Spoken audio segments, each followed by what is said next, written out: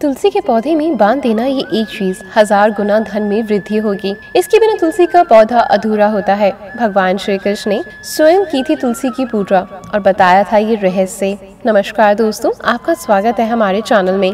दोस्तों, तुलसी का पौधा तो प्रत्येक हिंदू घर में होता है, लेकिन बहुत कम लोग तुलसी के संबंध में शास्त्रों में बताए गए महत्वपूर्ण नियम नहीं जानते। तुलसी की पूजा कैसे करनी चाहिए? तुलसी को जल कैसे देना चाहिए? तुलसी में कौन सी वस्तु रखनी शुभ होती है?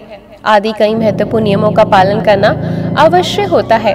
इसके अलावा, अगर आप तुलसी के नीचे एक चीज़ बाँध देते हैं तो आपको माँ तुलसी का ढेर सारा आशीर्वाद मिलता है और आपके घर में महालक्ष्मी का सदैव ही निवास रहता है। दोस्तों, तुलसी का पौधा घर में होना परिवार के प्रत्येक सदस्य के लिए लाभकारी होता है। ये पौधा हर प्रकार से उपयोगी होता है। पुराणों के अनुसार तुलसी में देवी लक्ष्मी का वास होता है और नियमित रूप से इस पौधे की पूजा करने से लाभ भी अवश्य मिलता है। लेकिन यदि आप घर में रखने के साथ ही उसके नीचे ये एक चीज़ बाँध देते हैं। तो आपको तुलसी लगाने का कई गुना अधिक फल प्राप्त होता है, क्योंकि इस एक चीज़ के बिना तुलसी माँ अधूरी मानी जाती हैं। ये चीज़ तुलसी को संपूर्ण बनाती है, इसलिए शास्त्रों में इसका सबसे अधिक महत्व बताया गया है।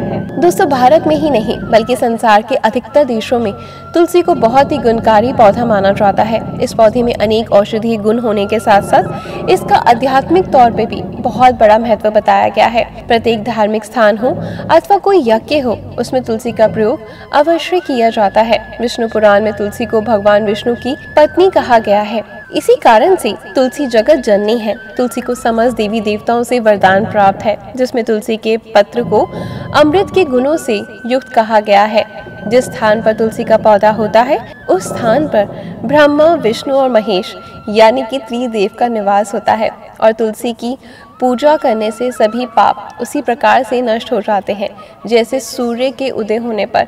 रात्रि का अंधकार नष्ट हो जाता है। शास्त्रों के अनुसार, जिन घरों में तुलसी का पौधा सदैव ही हरा भरा रहता है, उस घर में सुख, शांति और समृद्धि बनी रहती है। भगवान विष्णु की पूजा में और उन्हें चढ़ाए जाने वाले भोग में तुलसी के पत्र अवश्य होने चाहिए, क्योंकि तुलसी पत्र के बिना भगवान विष्णु किसी भी प्रकार का भोग स्वीकार नहीं करते। इसलिए प्रत्येक घर में तुलसी का पौधा होना बहुत ज़रूरी है। अगर आपके घर में तुलसी है तो सुख शांति और समृद्धि के लिए तुलसी माँ को चुनरी अवश्य चढ़ानी चाहिए। अक्सर लोग तुलसी का पौधा तो लगा देते हैं, लेकिन उनसे ये गलती हो जाती है कि वे तुलसी माँ को चुनरी नहीं चढ़ाते, जिसके कारण उन्हें तुलसी लगाने का शुभ फल प्राप्त नहीं होता।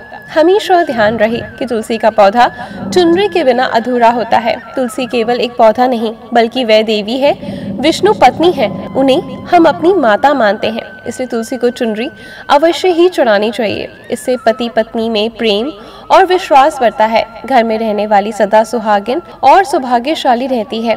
लेकिन तुलसी को चुनरी चढ़ाते समय आपको ये बात ध्यान में रखनी चाहिए कि आप तुलसी को लाल रंग की चुनरी ना चढ़ाएँ। लाल रंग का संबंध मंगल ग्रह से होता है और बुध ग्रह तुलसी से संबंधित होता है। मंगल और बुध ग्रह मित्र नहीं है। बूढ़ के अनुकूल शुक्र ग्रह और शनि है। इसलिए तुलसी पर लाल चुनरी कभी नहीं चढ़ानी चाहिए। आप तुलसी पर हरे रंग की या फिर पीले रंग की अथवा नीले रंग की चुनरी चढ़ा सकते हैं, लेकिन लोग पुरानी, फटी हुई चुनरी तुलसी पर बाँध देते हैं। ऐसा करना अशुभ होता है। तुलसी पर नई चुनरी ही बांधनी चाहिए। तुलसी पर चुनरी बांधने के लिए एकादशी का दिन सर्वोत्तम है। आप किसी भी एकादशी के दिन नई चुनरी लाकर उसे तुलसी के पौधे पर बाँध सकते हैं।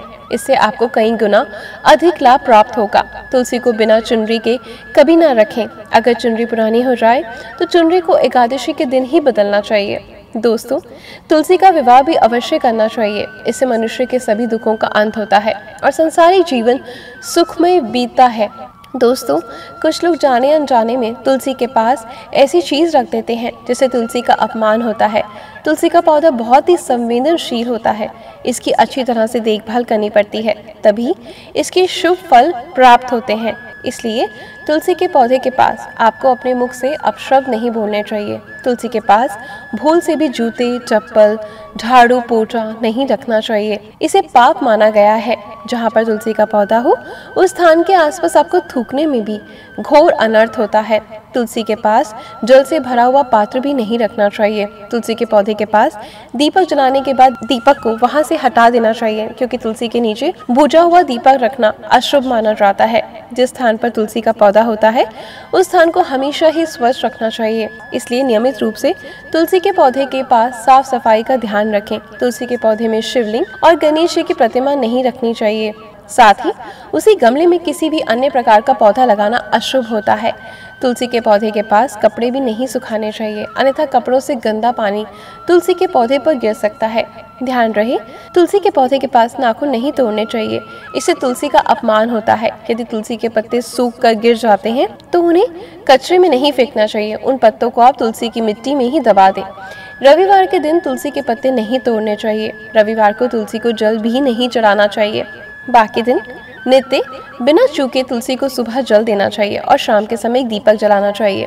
अक्सर महिलाएँ स्नान के बाद अपने बाल खुले रखकर ही तुलसी को जल देती हैं। ऐसा करना गलत है। महिला को हमेशा ही अपने बाल बांधकर माथे पर सिंदूर लगाकर ही तुलसी को जल देना चाहिए। इससे तुलसी का आशीर्वाद आपको प्राप्त होता है। घर में तुलसी का पौधा लगाते समय ध्यान रहे कि इसके लिए गंदी मिट्टी का उपयोग बिल्कुल ना करें। तुलसी के पौधे के लिए शमशान की अथवा गंदी वाले स्थान की मिट्टी का उपयोग नहीं करना चाहिए। इससे तुलसी माँ रुष्ट हो जाते हैं। और तुलसी का पौधा कभी भी गंदे स्थान पर नहीं लगाना चाहिए, जैसे नाली अथवा बाथरूम के पास। तुलसी के पौधे में कभी भी गंदा पानी ना डालें, जो बहुत ही अशुभ माना जाता है। घर में तुलसी का पौधा कभी सूखना नहीं चाहिए।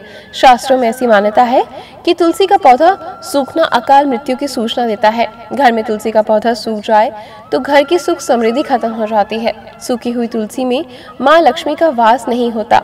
वास्तु शास्त्र के अनुसार तुलसी का पौधा सूख जाए तो ये आने वाली किसी विपत्ति या दुर्घटना का संकेत है। इसे तुलसी के अच्छे से ख्याल रखना चाहिए। उसे नियमित रूप से जल देकर हरा भरा रखना चाहिए। तुलसी में कभी किसी प्रकार के केमिकल नहीं डालने चाहिए। केवल खाद्य पदार्थ और गोबर का ही प्रयोग करना चाहिए। इस बात का ख्याल रखें कि तुलसी में मकड़ी के जाले अथवा कीड़े वगैरह नहीं लगे। ऐसे स्थान पर लक्ष्मी वास करती है, इसलिए किसी प्रकार की गंदगी ना होने दें। शास्त्रों के अनुसार, मासिक धर्म के दौरान महिलाओं को तुलसी के पौधों में पानी नहीं डालना चाहिए और तुलसी को छूना भी वर्जित है। तुलसी को बिना स्नान किए छूना या जल देना वर्जित है।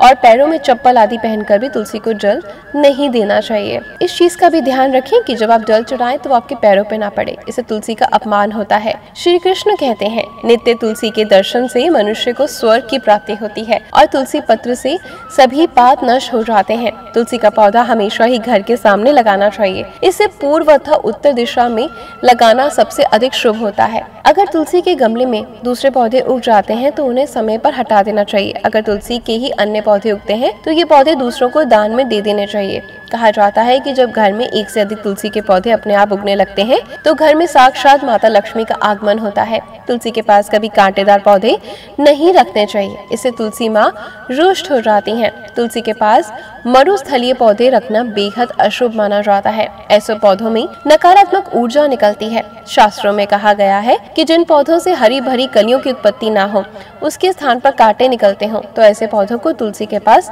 कभी ना रखें। बल्कि मरुस्थलीय पौधे घर में किसी भी स्थान पर रखने ही नहीं चाहिए। इन पौधों के कारण घर का वातावरण बिगड़ जाता है। जैसे कई लोग नागफनी का पौधा सजावट के तौर पर घर में रखते हैं। ऐसा करना बिल्कुल गलत है। नागफनी का पौधा तो गलती से भी तुलसी के पास ना रखें। ये तुलसी की संपूर्ण सकारात्मक ऊर्जा को नष्ट कर देता है। लेकिन शास्त्रों में केले के पौधे का विशेष महत्व बताया गया है। अगर आप तुलसी के पास केले का पेड़ लगा देते हैं तो आपको कई गुना अधिक लाभ मिलेगा। केले के पेड़ में भगवान विष्णु का वास होता है। इसे तुलसी के पास लगाने से घर में सुख समृद्धि आती है। साथ ही जिस स्थान पर भगवान विष्णु का वास होता है, वहाँ पर लक्ष्मी खुद चल कर आती है।